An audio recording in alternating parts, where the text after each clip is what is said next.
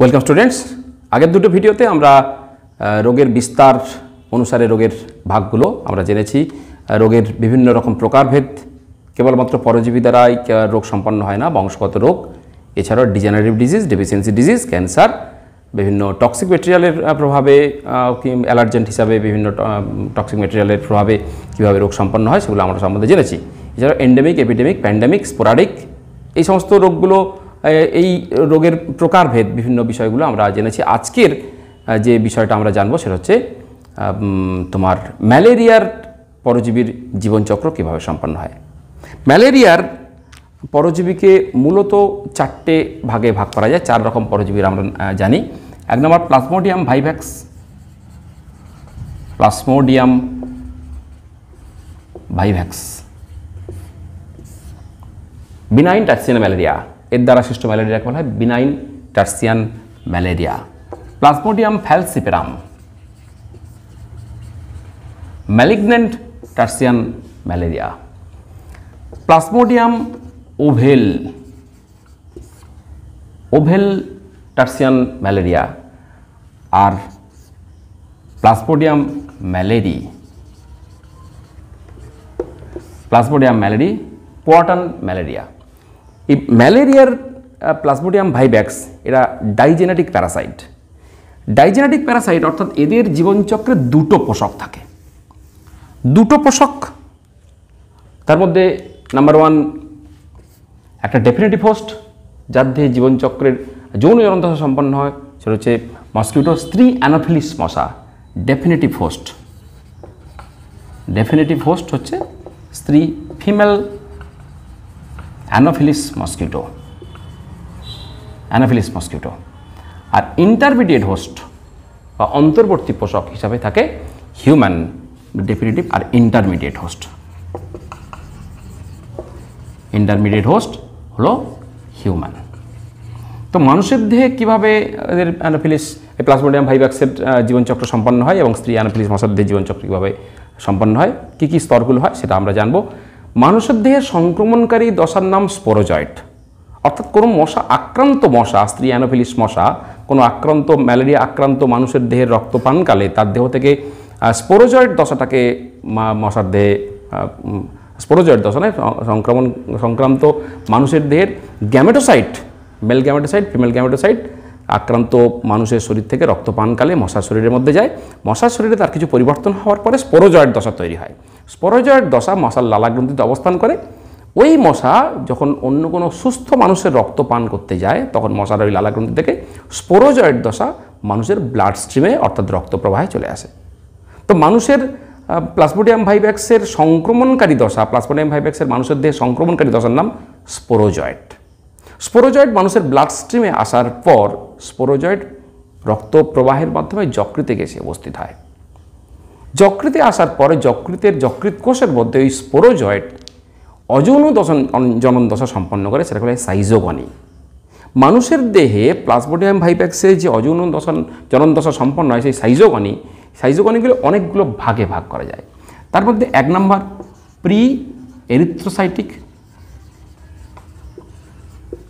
schizogony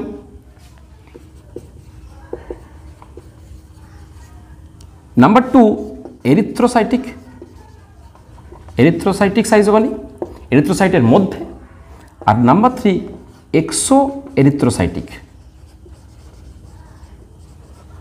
exo erythrocytic schizogony আর number four gametogony এই যে চারটে দশা, এই চারটে দশায় কী সম্পন্ন হয়? ধরো স্পোরোজয়েড মানুষের ব্লাড স্ট্রিমে প্রবেশ করার সঙ্গে সঙ্গে ওই স্পোরোজয়েড রক্ত প্রবাহের মাধ্যমে যকৃতে এসে উপস্থিত হয়। এই যকৃতে এসে যকৃত কোষকে আক্রমণ করে, কোনো একটা যকৃত কোষের মধ্যে সাইজন দশা তৈরি করে, একটা কোষের মধ্যে স্পোরোজয়েড ভিতরে প্রবেশ করে। সাইজোগানি প্রি এন্থোসাইটিক সাইজোগানি পদ্ধতিতে ওই যকৃত কোষের মধ্যে প্রচুর পরিমাণে মেরোজয়েড তৈরি হয় বা ক্রিপ্টোমেরোজয়েড তৈরি হয়। এই ক্রিপ্টোমেরোজয়েডগুলো ওই যকৃত কোষটা বাস্ট করে বা যকৃত কোষের ভিতর থেকে ক্রিপ্টোমেরোজয়েডগুলো আবার ব্লাড স্ট্রিমে বেরিয়ে আসে। যখন ব্লাড স্ট্রিমে বেরিয়ে এলো, ওই সময় তৈরি হয় দু ধরনের মেরোজয়েড বা দু ধরনের ক্রিপ্টোমেরোজয়েড। একটা ম্যাক্রোমেরোজয়েড, একটা মাইক্রোমেরোজয়েড, ম্যাক্রো, ম্যাক্রোক্রিপ্টোমেরোজয়েড বা মাইক্রোক্রিপ্টোমেরোজয়েড বা শুধু ম্যাক্রোমেরোজয়েড বা মাইক্রোমেরোজয়েড বলা হয়।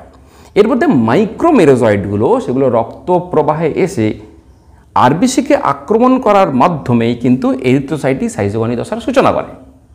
তবে কিছু কিছু কোষ কিছু কিছু মেরোজয়েড কোষ যকৃতের কোষের মধ্যে সবসময় পার্মানেন্টলি সুপ্ত অবস্থায় থেকে থেকে যায়, একে বলে হিপনোজয়েড এগুলো সুপ্ত অবস্থায় থেকে যায়।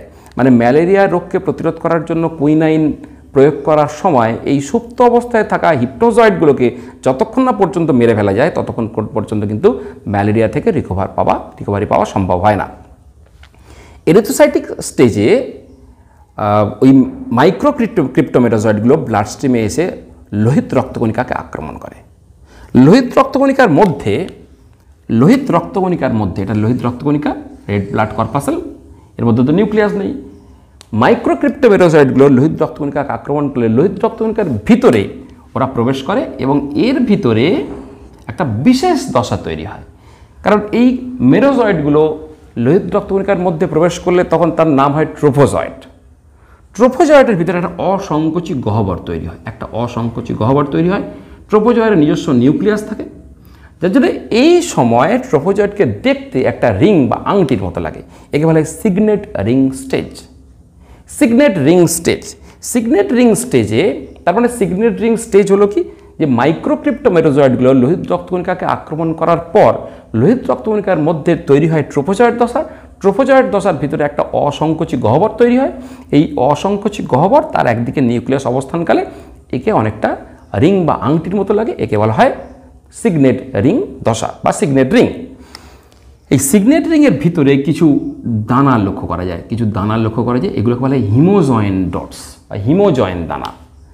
আর লোহিত রক্তকণিকার মধ্যে কিছু দানা লক্ষ্য করা যায়, এগুলো বলা হয় Schuffner dot. Schuffner dot haemozoin dot এবং সিগনেট রিং, এই তিনটা ভীষণ ইম্পর্টেন্ট পরীক্ষার পারপাসে এর ভিতরে এরিথ্রোসাইটিক সাইজোগনি দশাতে ট্রোফোজয়েড তৈরি হলো। ট্রোফোজয়েড এই সাইজোগনি এরিথ্রোসাইটিক সাইজোগনি অর্থাৎ এরিথ্রোসাইটের ভিতরে অজনজন দশা শুরু হবে। সাইজোগনি পদ্ধতিতে ট্রোফোজয়েড এরপরে অসংখ্য আরও কোষ তৈরি করবে ডিভাইড করতে শুরু করবে। অসংখ্য কোষ তৈরি করবে। অসংখ্য কোষ তৈরি হলে যখন আরবিসিটা বড় হয়ে যাবে, ফুলে যাবে, তখন ওইগুলো বাস্ট করবে। ওর মধ্যে যে কোষগুলো তৈরি হলো সেগুলো কিন্তু আবার মেরোজয়েড।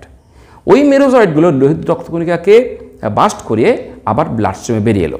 যখন লোহিত রক্তকণিকাকে বাস্ট করিয়ে ওই মেরোজয়েডগুলো ব্লাডে বেরিয়ে আসবে, তখন লোহিত রক্তকণিকার মধ্যে অবস্থিত অন্যান্য উপাদানগুলি সবই কিন্তু ব্লাডে বেরিয়ে আসবে। এবং এই টক্সিক মেটেরিয়াল, লোহিত রক্তকণিকার মধ্যে উপস্থিত এই উপাদানগুলো তখন ব্লাডে একটা টক্সিক রিয়াকশান সৃষ্টি করে, যার জন্য একটা তোমার কাঁপুনি দিয়ে জ্বর আসে।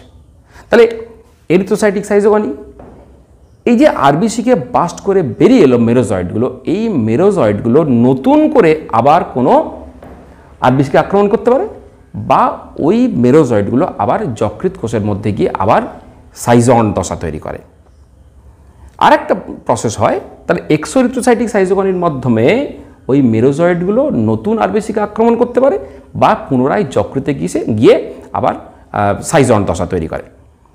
এছাড়া আরেকটা দশা তৈরি হয় যে ওই মেরোজয়েডগুলোর কিছুটা পরিণত হয়ে, কিছুটা রূপান্তরিত হয়ে গ্যামেটোসাইট ফর্ম করে। মেল গ্যামেটোসাইট এবং ফিমেল গ্যামেটোসাইট। এই গ্যামেটোসাইট ফর্ম করাই দ্যাট ইজ গ্যামেটোগনি। মেল গ্যামেটোসাইটগুলো ছোট আকৃতির হয় বলে একে বলা হয় মাইক্রো গ্যামেটোসাইট আর ফিমেল গ্যামেটোসাইটগুলো বড় আকৃতির হয় বলে একে বলা, এদেরকে বলা হয় ম্যাক্রো গ্যামেটোসাইট এই দুটো গ্যামেটোসাইট তৈরি হওয়ার পর এই গ্যামেটোসাইটগুলো মানুষের ব্লাড স্ট্রিমে অবস্থান করে। ওয়েট করে থাকে এই গ্যামেট গ্যামেটোসাইটগুলোর আর কোনো পরিবর্তন হয় না। যখন কোনো মশা ওই মানুষের রক্ত পান করে তখন ওই গ্যামেটোসাইটগুলো কিন্তু মানুষের দেহ থেকে রক্তের মধ্যে যে গ্যামেটোসাইটগুলো ছিল সেগুলো মশার আহ, লালা গ্রন্থির মধ্যে অবস্থান করে। শুরু হয় মসকিউটো সাইকেল এই মসকিউটো সাইকেলের মধ্যে কি হয়? দেখা যাক।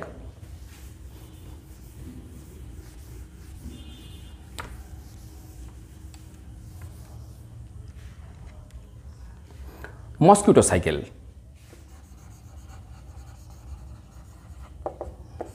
স্ত্রী অ্যানোফিলিস মশা। স্ত্রী অ্যানোফিলিস মশা যখন রক্তপান করল, তখন তার লালা গ্রন্থিতে মেল গ্যামেটোসাইট এবং ফিমেল গ্যামেটোসাইট দুটো তার অন্ত্রের মধ্যে এসে উপস্থিত হলো। অন্ত্রের মধ্যে প্রবেশ করার মোটামুটি কুড়ি থেকে দু ঘণ্টা, কুড়ি মিনিট থেকে দু ঘণ্টার মধ্যে নিষেক সম্পন্ন হয়ে যায়। অন্ত্রের মধ্যে এই মেল গ্যামেটোসাইট এবং ফিমেল গ্যামেটোসাইট এরা মেল গ্যামেট এবং ফিমেল গ্যামেটে রূপান্তরিত হয়। মেল গ্যামেটোসাইট এদের থেকে এক্সফ্লাজেলেশন পদ্ধতিতে মেল গ্যামেট তৈরি হয়। এবং ফিমেল গ্যামেটোসাইট যেগুলো ফিমেল গ্যামেটোসাইট অর্থাৎ ম্যাক্রো বড় আকৃতির, এদের থেকে মানে মেল গ্যামেট বা ম্যাক্রো গ্যামেট তৈরি হয়।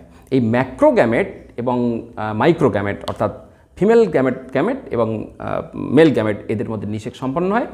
নিষেক সম্পন্ন হওয়ার পর তৈরি হয় যে দশাটা, তাকে বলে উকাইনেট। উকাইনেট এই দশাটা অন্ত্রের ব্রাসপাটার অতিক্রম করে তার যে আবরণী কলাকোষ, তারপরে ভিত্তিপর্দা ভিত্তিপর্দার আবরণী কলাকোষের মাঝখানে এই উকাইনের দশাটা অবস্থান করে। উকাইনের দশা এখানে অবস্থান করাকালে উকাইনের দশার উপরে দুটো আবরণ তৈরি হয়ে যায়। এখানে ওরা ওয়েট করে রেস্ট নেয়।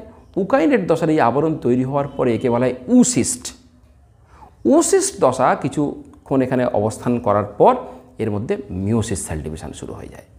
মিওসিস সেল ডিভিশনের ফলে প্রথমে চারটে কোষ তৈরি হয় হ্যাপ্লয়েড পরে এই চারটে কোষগুলো প্রত্যেকটা মাইটোসিস সেল ডিভিশনের মাধ্যমে তৈরি করে স্পোরোজয়েড এই স্পোরোজয়েডগুলো তারপর ক্ষুদ্রান্ত্র অন্ত্র থেকে, ওদের লালাগ্রন্থি থেকে অবস্থান করে। এবং ওই মশাটা যদি আবার কোনো সুস্থ মানুষকে রক্তপান করার সময়, সুস্থ মানুষের দেহে স্পোরোজয়েড দশা আবার সেই মানুষের দেহে প্রবেশ করে, তাহলে মানুষের দেহে আবার নতুন করে হিউম্যান সাইকেল প্লাজমোডিয়াম ভাইব্যাক্সের হিউম্যান হিউম্যান সাইকেল শুরু হয়।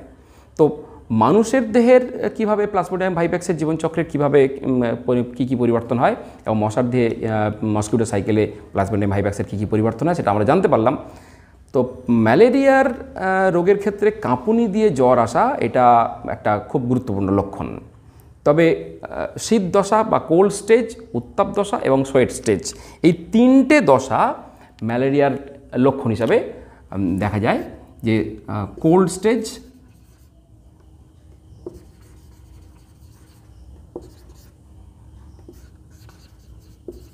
হট স্টেজ, উত্তাপ দশা আর তিন নম্বর সোয়েট স্টেজ, ঘর্মদশা। ঠান্ডা লাগতে থাকে, খুব ঠান্ডা লাগে, যার জন্য কাঁপুনি দেয়, প্রচণ্ড কাঁপুনি দেয়। তারপর, তারপরে প্রচণ্ড গরম লাগতে থাকে। এই কাঁপুনি দিয়ে জ্বর ছেড়ে যাওয়ার পর প্রচণ্ড গরম লাগে, আর গরম লাগার পরে তারপর প্রচণ্ড ঘাম হয়। এই তিনটে দশা ম্যালেরিয়ার প্যারোজীবী প্লাজমোডিয়াম ভাইব্যাক্স মানুষের দেহে আক্রমণ করে ম্যালেরিয়ার লক্ষণ হিসাবে যে কাঁপুনি দিয়ে জ্বর আসে, তার এই তিনটে স্টেজ। এই তিনটে স্টেজকে একসাথে বলা হয় ফেব্রাইল পারক্সিজম, যে ম্যালেরিয়া, পরজীবী, প্লাজমোডিয়াম ভাইব্যাক্সের সংক্রমণের ফলে মানুষের দেহে ফেব্রাইল পারক্সিজম দেখা যায়, অর্থাৎ কাঁপুনি দিয়ে জ্বর আসে এবং কাঁপুনি দিয়ে জ্বর আসার ম্যালেরিয়ার লক্ষণ প্রকাশিত হওয়ার এই তিনটে স্টেজ। ম্যালেরিয়া পরজীবীকে প্রতিহত করার জন্য কুইনাইন প্রাইমাকুইন, মেপাক্রিন, ক্লোরোকুইন এই ধরনের বিভিন্ন মেডিসিনগুলোকে প্রয়োগ করেন। তবে এই প্রসঙ্গে একটা কথা অবশ্যই বলা উচিত যে over the counter drug use করা উচিত নয়। মানে তোমার কোনো সমস্যা হলো ওষুধ দোকানে গিয়ে সঙ্গে সঙ্গে দুটো ট্যাবলেট দিন, এই খেয়ে নিলে, এইভাবে কোনো ওষুধ খাওয়া একেবারেই উচিত নয়। ডাক্তারের পরামর্শ মেনে খাওয়া উচিত। তার খুব ভালো উদাহরণ প্লাজমোডিয়াম ভাইব্যাক্সের প্রতিরোধ করা। কারণ প্লাজমোডিয়াম ভাইব্যাক্সের শেষ জীবাণুটা পর্যন্ত, যে হিপনোজয়েডটা লিভারের কোষের মধ্যে অবস্থান করছে, সেটাকে যতক্ষণ না পর্যন্ত মারা যায়, ততক্ষণ পর্যন্ত তুমি সম্পূর্ণরূপে কিওর হবে না। এই হিপনোজয়েড দশাটা সুপ্তভাবে লিভার সেলের মধ্যে এমনভাবে অবস্থান করে যে কুইনাইন, ক্লোরোকুইন প্রাইমাকুইন মেপাক্রিন খুব সহজে একে মারতে পারে না। তার জন্য নির্দিষ্ট নিয়মে ডাক্তারের পরামর্শ মতো নির্দিষ্ট নিয়মে শেষ ছমাস বা এক বছর পর্যন্ত কুইনাইনের নির্দিষ্ট ডোজ নিতে হবে। এই শেষ হিপনোজয়েডটা যতক্ষণ পর্যন্ত না মারতে পারবে, ততক্ষণ পর্যন্ত কিন্তু, বা প্লাজমোডিয়াম ভাইব্যাক্স বা প্লাজমোডিয়ামের অন্যান্য স্পিসিসগুলোকে মেরে ফেলা বা শরীর থেকে বিতাড়িত করা সম্পূর্ণরূপে সম্ভব নয়। প্লাজমোডিয়াম ফ্যালসিপেরাম ম্যালিগন্যান্ট ম্যালেরিয়া, প্রাণঘাতী malaria Plasmodium falciparum. Plasmodium falciparum, দেখো দেহে জীবাণু প্রবেশ করা আর তার লক্ষণ প্রকাশিত হওয়া। এই জীবাণু প্রবেশ করার লক্ষণ প্রকাশিত হওয়ার সময়কালকে ইনকিউবেশন পিরিয়ড বলা হয়। এই ইনকিউবেশন পিরিয়ড প্লাসবোডিয়াম ভাইব্যাক্সের ভীষণ কম, এই প্লাসবোডিয়াম ফ্যালসিপ্যারামের তার জন্য প্লাসবোডিয়াম ফ্যালসিপেরামের ইনকিউবেশন পিরিয়ড কম এবং তার লক্ষণ খুব দ্রুত প্রকাশিত হয় এবং খুব তাড়াতাড়ি স্প্রেড করে যায়। যার জন্য প্লাসবোডিয়াম ফ্যালসিপেরামের ট্রিটমেন্ট যত তাড়াতাড়ি সম্ভব শুরু করা যায়, ততই ভালো। কারণ প্লাসমোডিয়াম ফ্যালসিফারাম এত দ্রুত স্প্রেড করে যায় মস্তিষ্কের রক্তবাহ অন্যান্য গুরুত্বপূর্ণ অর্গানকে রক্তবাহের মধ্যে প্রবেশ করে, সেখানে লোহিত রক্তকণিকা যদি মেরে ফেলতে শুরু করে, খুব ফাস্ট মেরে ফেলতে শুরু করে, তাহলে কিন্তু তুমি যে কোনো মানুষ খুব তাড়াতাড়ি কমাতে চলে যেতে পারে। জন্য প্লাসমোডিয়াম ফ্যালসিফেরাম হোক বা অন্য যে কোনো প্লাসমোডিয়ামের অন্যান্য স্পিসিস যাই হোক না কেন, সেগুলো প্রতিরোধ করার জন্য অতি অবশ্যই ব্লাড টেস্ট এবং ডাক্তারের পরামর্শ মেনে সঠিকভাবে ওষুধ খেয়ে রোগটাকে প্রতিরোধ করা উচিত।